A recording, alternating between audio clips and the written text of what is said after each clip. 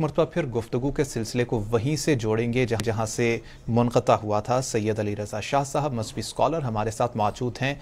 Question मैंने ये रखा था, सवाल ये रखा था कि ज़ुकात, खुम्स और उशर में फ़र्क वाज कर दीजिए, तालीम कर दीजिए। मैं कर रहा था कि जिसके पास साढ़े सात तोले सोना हो या साढ़े बावन तोले चांदी हो या इतनी मालियत हो तो उस पर उसके माल उस पर एक साल गुजर जाए तो उस पर उसके माल का अढ़ाई फ़ीसद जो है वो जक़ात देनी ज़रूरी होगी। और बाकी रह गया खुमस और उशर के बारे में।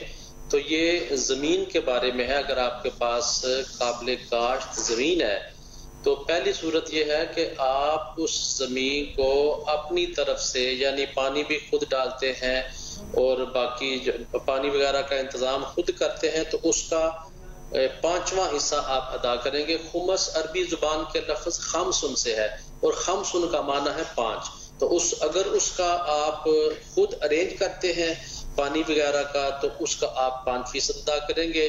और अगर बा, बारिश पर उसका इहिसार है कोई ऐसा इलाका है कि आप पानी का अरेंज नहीं कर सकते और बारिश पर उसका इहिसार है तो उसका फिर उशर होगा। उशर अरबी ज़ुबान के लफज अशर से निकला जिसका माना है दस।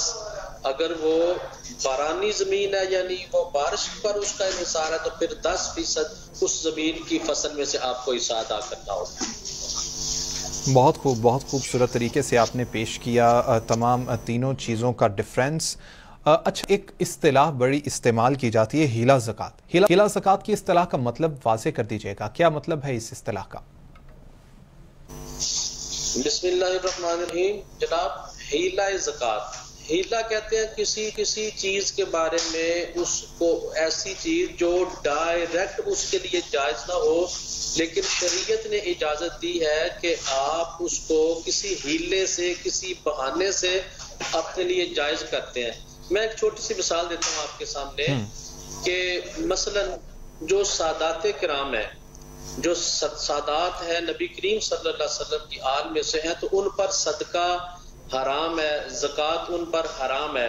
तो उसके लिए हम हीला कैसे करते हैं कि हीला ऐसे करते हैं कि अगर कोई बंदा अपनी जक़ात लेके आता है, उस इदारे के अंदर जिसमें सादात भी दीन की तालीम हासिल कर रहे हैं तो उसका तरीका ये होगा कि जो गैर सादात स्टूडेंट्स वो तालब इलम वहाँ पे मौजूद हैं, वो इस बात का इकरार करेंगे कि हम ये जक़ात अपने लिए कबूल करते हैं।